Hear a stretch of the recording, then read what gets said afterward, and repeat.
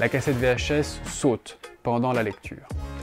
Sans même observer de problème physique sur la cassette, vous pouvez néanmoins constater des sautes à la lecture du film. Ça arrive. À ce moment-là, pourquoi saute-t-elle? Vérifiez quand même la présence d'aspérité, de moisissure, de froissure, de pliage. Considérez aussi que votre magnétoscope puisse être défectueux, surtout si les sautes sont présentes en essayant d'autres cassettes. Ça expliquerait donc pourquoi il y aurait des sautes malgré le fait qu'il n'y a pas de problème visible sur les bandes. Testez la lecture sur un autre magnétoscope.